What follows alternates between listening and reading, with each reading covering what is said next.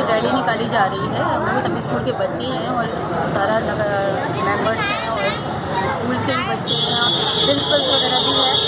और इसके तरह पूरे वार्ड में स्वच्छता अभियान चलाया जा रहा है और इसके में तहत हम पूरे पाँच हज़ार डस्टबिन बांट रहे हैं।